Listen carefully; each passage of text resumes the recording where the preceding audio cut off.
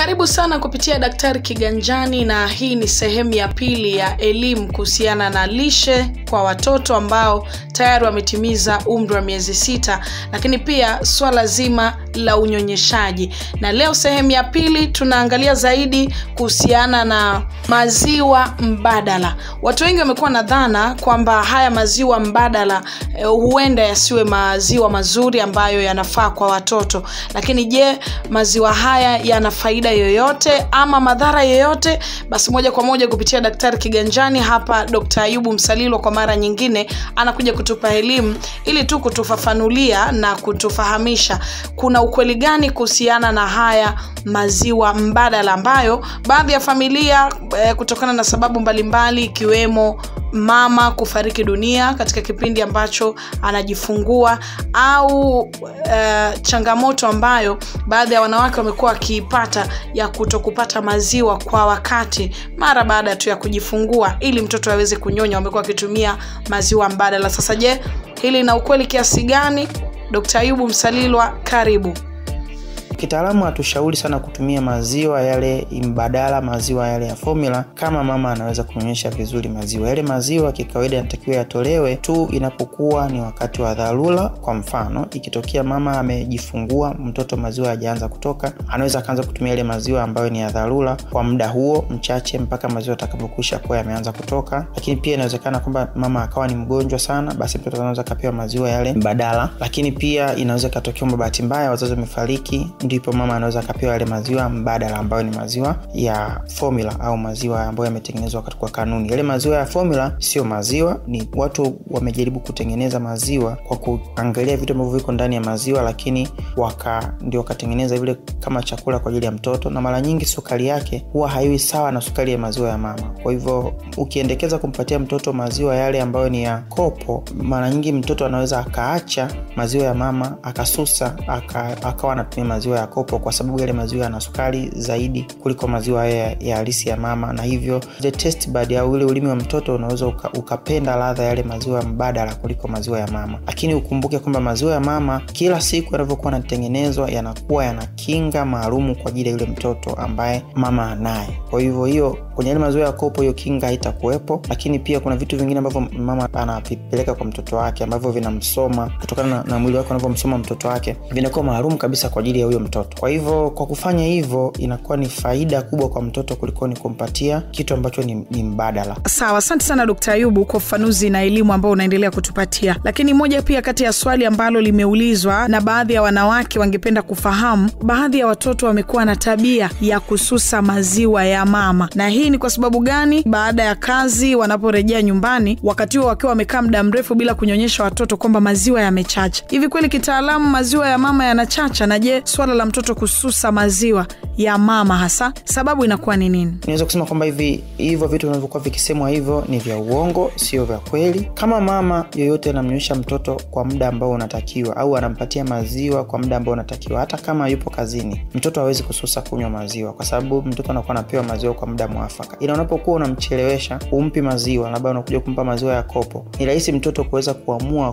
kunywa yale maziwa ambayo yanapatikana mara nyingi kuliko ni hayo ya koko ambayo unachelewesha kumnyonyesha. Kwa hiyo mtoto hawezi kususa maziwa. Kama mama anamnyonyesha mtoto au anahakisha mtoto anapata maziwa kwa muda ambao unatakiwa hata kama ipo kazini kwa kwamba aliyakamua maziwa na kuyahifadhi na kuyaacha kwa ajili ya mtoto kuweza kunywa akiwa na njaa. Kitu kingine ikitokea mama anafanya kazi labda juani maziwa ya mama hayawezi kuchachuka kama watu wanavyokwisha kusema kwa sababu maziwa ya mama yako ndani ya mwili wa mama. Hakuna mdudu anayeingia ndani ya nyonyo la mama. Kule ndani hakuna dudu ambao wanaweza wakaozesha maziwa ambao wanaweza wapo kwenye mazingira ya kawaida. Kwa hivyo yale maziwa ukinamama wengi wanavyokuwa wametoka juani maziwa yanakuwa ni machache kwa sababu wanakuwa wamepungukiwa kiwango kidogo cha maji. Kwa hivyo maziwa yakiwa machache mtoto akinyonya kidogo anakuta hayatoki. Mara nyingi anaweza akakasirika na kuweza kuchukia. Mtoto anachukia kama mtu mzima anaweza akakasirika. Hasa anapokuwa amekasirika wakimama wanafikiri labda, labda kuna shida kwenye maziwa lakini ukweli ni kwamba maziwa yanakuwa labda ni machache. Kwa hiyo tunashauri kama kina mama wanafanya kazi ambazo ni za kukaa juani mara kwa mara wajitahidi kuhakikisha kwamba wanakunywa maji vya kutosha ili kusudi kuweza kutengeneza maziwa kwa sababu maziwa yanatengenezwa na chakula pamoja na maji ambayo anakunywa mama. Kina mama, ongeleni sana kwa kazi nzuri ya kuendelea kunyonyesha na kuolea watoto, na tukifanya kwa usahihi watoto watakuwa vizuri, watakuwa ni watu ambao watakuja kulisaidia taifa hili baadaye. Wakati huu dokta Ayubu, tunaongelea swala zima la unyonyeshaji. Wapo baadhi ya wanawake ambao wamekuwa wakitumia njia mbadala kuwanyonyesha watoto wao na wamekuwa wakitumia maziwa ambayo sio maziwa ya mama. Haya tunayaita ni maziwa mbadala, kama njia ya kuhakikisha watoto wao wanaendelea kunyonya. Sasa ni vyema ukatupa ufafanuzi pamoja na elimu, maziwa haya mbadala yana madhara yoyote kwa watoto? Maziwa mbadala ni maziwa ambayo yametengenezwa na wataalamu kwa kujaribu kuiga vile vitu ambavyo vipo kwenye maziwa ya mama. Yametengenezwa katika mazingira ya usafi ili kuepuka magonjwa, na wakati mwingine wanaweza kuweka hata baadhi ya vitamini mle ndani. Haya maziwa yanatakiwa yatumike kitaalamu pale tu inapokuwa mama hawezi kunyonyesha kwa sababu za kiafya au kwa kuwa labda maziwa hayatoki pale mwanzoni. Sasa maziwa haya licha ya kwamba yana baadhi ya faida, yamekuwa na changamoto zifuatazo. Changamoto ya kwanza ni kwamba hayana kinga. Kinga inatengenezwa kwenye maziwa ya mama tokea mtoto anapokuwa amezaliwa, na inakuwa maalum kwa ajili ya yule mtoto ambaye amemzaa, na inakuwa inaendelea kujitengeneza kwa kadili ambavyo mama anaendelea kunyonyesha mtoto wake na kila siku anaendelea kuwa naye, na hiyo kinga inakuwa ipo maalum kabisa kwa ajili ya mahitaji ya huyo mtoto kwa wakati huo, kitu ambacho maziwa yale ya mbadala hayana. Kitu kingine ni kwamba tafiti zimeonyesha ya kwamba maziwa mbadala huwa yanakwenda kubadilisha wale wadudu maalum ambao wanakuwepo ndani ya tumbo, tunaita normal flora. Wale wadudu ambao wanakuwepo ndani ya tumbo wanasaidia mwili kuweza kutengeneza kinga na kutengeneza vitu vingine na kusaidia mmeng'enyo unaokuwepo ndani ya chakula. Sasa maziwa haya mbadala huwa hayana na huwa yanabadilisha mazingira halisi ya wale normal flora wa tumbo la mtoto, na hivyo kuweza kumsababishia vitu vingine baadaye mfano kuweza kumsababishia akaja kupata magonjwa mengine baadaye kama magonjwa ya kisukari ambacho kinasababishwa na vitu vingine na magonjwa mengine ambayo yanaweza akaja kumpata mtoto baadaye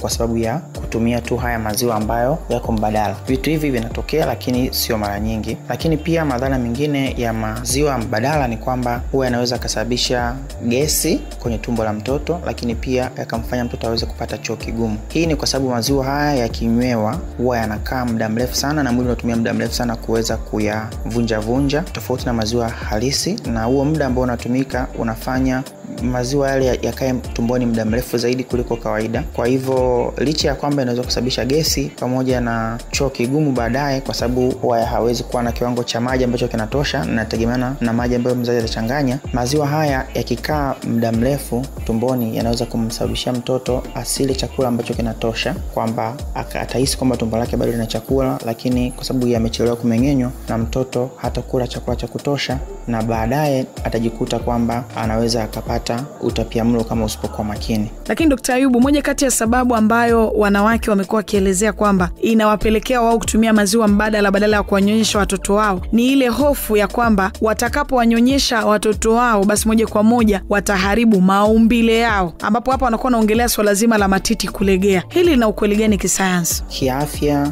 haina ukweli.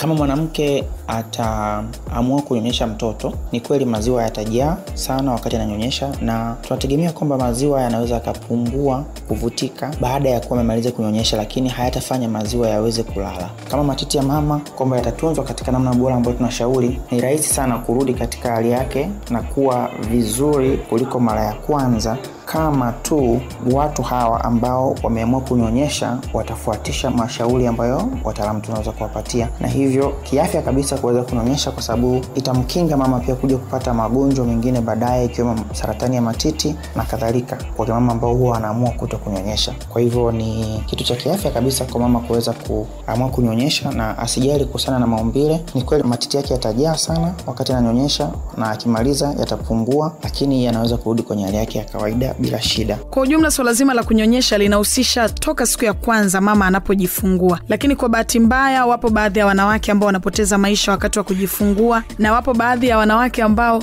mara baada ya kujifungua wanapohitajika kuwanyonyesha watoto wao wanadai kwamba hawawezi kufanya hivyo kwa wakati huo, kwa dhana ya kwamba yale maziwa ya kwanza huwa ni machafu. Hili lina ukweli pia kisayansi, Dkt. Ayubu? Maziwa ya mama mtoto anapokuwa amezaliwa yanakuwa na kinga maalum na mara ya kwanza yanakuwa ni mazito yana kitu kinaitwa colostrum kitaalamu. Hii inakuwa imebeba kinga pamoja na, kama chanjo ya kuweza kumsaidia mtoto asiweze kupata magonjwa mbalimbali. Na hivyo yale maziwa ya mwanzo kabisa ni ya muhimu sana kwa mtoto. Kwa hivyo anatakiwa anyonyeshe maziwa ya mwanzo bila kuacha kwa sababu ni ya muhimu sana kwa mtoto. Yale maziwa sio machafu yale maziwa sio mazito yale ni maziwa sahihi ambayo yanaweza kumsaidia mtoto na kumkinga na kumtengeneza ubora wake wa mfumo wa kinga pamoja na akili yake pamoja na mfumo wake mzima wa kuweza kumeng'enya chakula na kadhalika. Kwa hivyo yale maziwa ya kwanza ni muhimu sana. Mtu yeyote baada ya kusikia ujumbe huu ajitahidi kuendelea kunyonyesha watoto maziwa ya kwanza na kadhalika. Kiujumla elimu yote aliyoitoa d ayubu msalilwa kupitia chaneli yetu ya daktari kiganjani ni elimu ambayo mwanamke ambaye unatufuatilia kwa ukaribu zaidi itakusaidia katika malezi yako na makuzi ya mtoto. Kwa sababu moja kati ya vitu ambavyo d ayubu ametufahamisha ni kuhakikisha kwamba tunawanyonyesha kwa wakati lakini pia kuzingatia taratibu zote ambazo wataalamu wa afya wanatuelekeza ili tu ni kuhakikisha tunasimamia afya za watoto wetu kuwa njema na kusimamia makuzi yao kwa ujumla. Elimu nyingine mbalimbali zitapatikana hapa pa kupitia daktari kiganjani chaneli yetu hii ya youtube. Subscribe ili kupata updates kwa muda wowote ambao tutakuwa tumekufikia kiganjani mwako. Lakini pia instagram tunapatikana kama daktari kiganjani. Endelea kutufuatilia. Hii ni daktari kiganjani kwa ajili ya elimu sahihi taarifa pamoja na ufafanuzi mbali